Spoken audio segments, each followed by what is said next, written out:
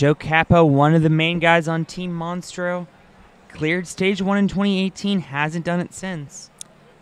Joe Capo is the uh, ninja director at Center Court Chatham, I think, um, one of the Center Court locations. And this guy has the best flow in the business. Um, just you watch any of his YouTube videos. Wow. Look at that. Not going to have any trouble uh, flying through this course. On the boardwalk. Him and his girlfriend Abby Clark, who we'll also see compete later today.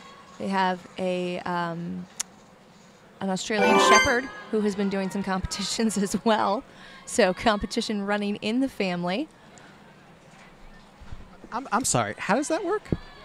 Um, so Australian Shepherds, they're a very fast and um, very smart dogs, and they can do some competitions where they woo.